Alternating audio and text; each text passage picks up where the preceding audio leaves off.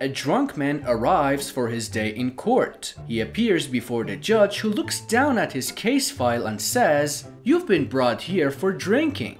The drunk man smiles widely and says, Great, let's start the drinking.